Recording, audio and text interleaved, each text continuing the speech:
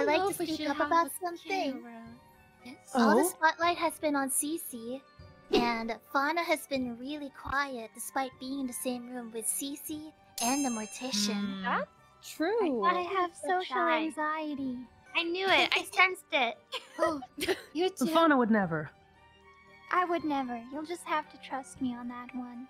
Could the UV ray be used to to spot any blood traces on people out of curiosity?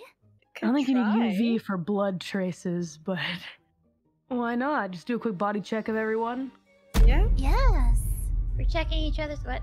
Just wave my flashlight Sure. around On everyone? on everyone. I submit you may wave your Quick flashlight. scan. Do you have their consent? Yes. No. Yes, you have. I I understand everybody here. Oh, well, everyone line up. Say you consent to being flashlighted. I can If I pass the test, can I leave? Yes. All right, everyone begins to line up because they consent, unless someone says they do not consent right now. Does Wait. anyone not consent? I would like, as long as I can watch, it's okay. Everyone is being flashlighted right now. Ooh. Look away, those who are not being flashed. It is private. No. Close your eyes. No! You are looking away. Okay. We're moving now.